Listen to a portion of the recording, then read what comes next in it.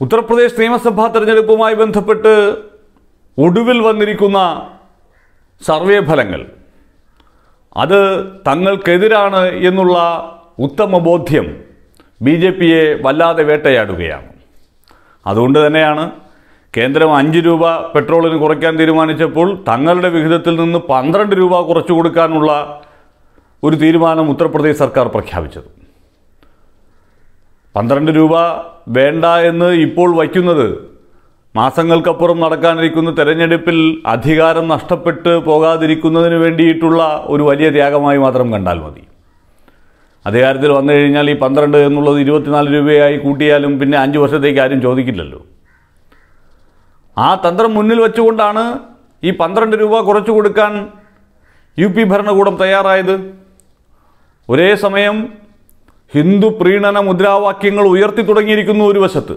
പക്ഷെ അപ്പോഴും കർഷക സമരവും ഇന്ധന വിലക്കയറ്റവും ഉണ്ടാക്കാവുന്ന തിരിച്ചടികൾ ബോധ്യപ്പെട്ടതുകൊണ്ടാണ്.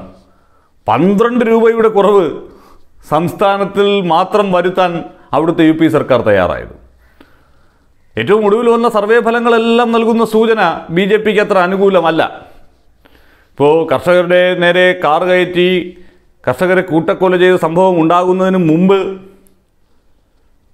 നേരത്തെ ഉണ്ടായിരുന്നതിൽ നിന്ന് നൂറ് സീറ്റുകൾ ബി ജെ പിക്ക് നഷ്ടപ്പെടുമെന്നുള്ള അവസ്ഥയായിരുന്നുവെങ്കിൽ ഇപ്പോൾ ഒപ്പത്തിനൊപ്പം എന്ന അവസ്ഥയിലേക്ക് എത്തിയിരിക്കുന്നു എസ് പിയും ബി ജെ പിയും. ഇപ്പോൾ കോൺഗ്രസിനെയും ബി എസ് പിയെയും ഒന്നും കൂടെ കൂട്ടാതെ രാഷ്ട്രീയ ലോക്ദളുമായും മറ്റു ചില പ്രാദേശിക കക്ഷികളുമായും മാത്രം സഖ്യമുണ്ടാക്കി മത്സരിക്കാൻ എസ് പി തീരുമാനിച്ചതോടുകൂടി കാര്യങ്ങൾ കുറെ കൂടി അവർക്ക് അനുകൂലമാവുകയാണ്. ഇപ്പോൾ ഈ കോൺഗ്രസും ബി എസ് പിയും ഒക്കെ ഒപ്പം ചേർന്ന് കഴിഞ്ഞ തവണ തങ്ങൾക്ക് ദോഷമുണ്ടാക്കി എന്നുള്ള എസ് പിയുടെ ആ വിലയിരുത്തൽ ശരിവച്ചുകൊണ്ട് ഒറ്റയ്ക്ക് മത്സരിക്കാനുള്ള തീരുമാനം അവർ പ്രഖ്യാപിക്കുമ്പോൾ അത് ബി ജെ പിക്ക് ഏൽക്കുന്ന ഒരു വലിയ ആഘാതമാണ് ആദ്യത്തെ ആഘാതമാണ്. സാധാരണഗതിയിൽ ഒന്നിച്ചു നിന്നാൽ എതിരാളിയെ നമുക്ക് കീഴടക്കി കളയാമെന്നുള്ളതാണെങ്കിലും ഉത്തർപ്രദേശിന്റെ രാഷ്ട്രീയത്തിൽ ആ ഒന്നിച്ചു നിൽക്കൽ ബി ജെ പിക്ക് ഗുണകരമായി മാറുന്ന കാഴ്ചയാണ് നമ്മൾ പലവട്ടവും കണ്ടത്. അപ്പോൾ ആ ഒന്നിച്ചു നിൽക്കില്ല എന്നുള്ളൊരു പ്രഖ്യാപനം ചില മേഖലകളിൽ സ്വാധീനമുള്ള പ്രാദേശിക കക്ഷികളുടെ പിന്തുണ കർഷക സമരം ഇന്ധന വിലക്കയറ്റം ഇതൊക്കെ ബി ജെ പിക്കെതിരായി ഒരു വലിയ വികാരം ഉണ്ടാകുന്നതിന് കാരണമായിട്ടുണ്ട് എന്നുള്ള തിരിച്ചറിവിൽ നിന്നാണ് ആദ്യപടി എന്നോണം ഈ പറയുന്ന തിരുത്തൽ നടപടികളുടെ ഭാഗമായി പന്ത്രണ്ട് രൂപയുടെ ത്യാഗം ചെയ്യാൻ തീരുമാനിച്ചത്. നമ്മൾ കണക്ക് കൂട്ടി നോക്കുമ്പോൾ അതൊരു ചെറിയ കാര്യമല്ല. ശരിയാണ്. വലിയ ത്യാഗമാണ്. കോടിക്കണക്കിന് രൂപ നഷ്ടം വരുന്ന ഒരു ഏർപ്പാടാണ്. സംസ്ഥാനത്തിന്റെ വിഹിതത്തിൽ ഒരു വലിയ ഇടിവുണ്ടാകുന്ന ഒരു ഘട്ടമാണ്. അഞ്ച് രൂപ കേന്ദ്രം വേണ്ട എന്ന് വയ്ക്കുന്നു പന്ത്രണ്ട് രൂപ ഇവിടെ വേണ്ട എന്ന് വയ്ക്കുന്നു പതിനേഴ് രൂപയുടെ ഗുണഫലം അവിടുത്തെ ജനങ്ങൾക്കുണ്ടാകുന്നു.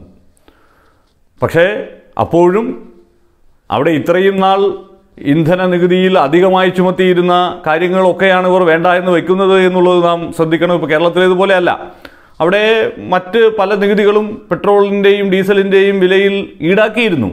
അധിക നികുതി ഈടാക്കിയിരുന്നു. കേരളമാണ് താരതമ്യേന കുറഞ്ഞ നിരക്കിൽ നികുതി ഈടാക്കിയിരുന്നത്.